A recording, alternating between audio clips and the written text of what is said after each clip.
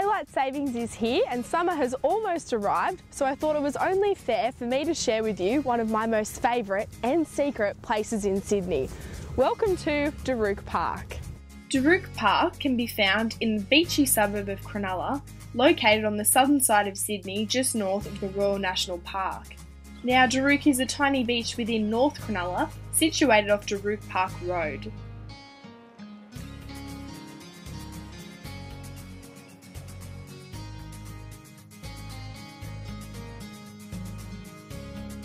For me personally, Darook is such a special place because I have so many memories growing up there.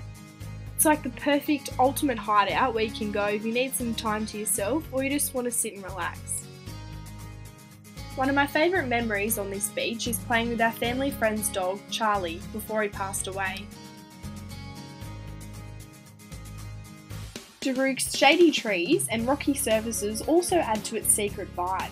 It's almost as if you've got your own little cave protected from the sun.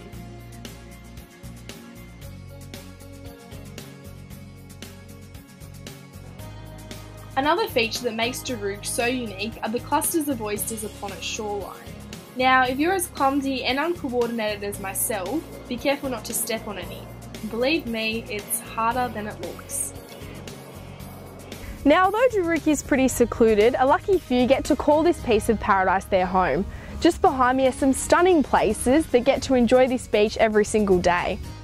It's safe to say not many people would complain waking up to this view every morning.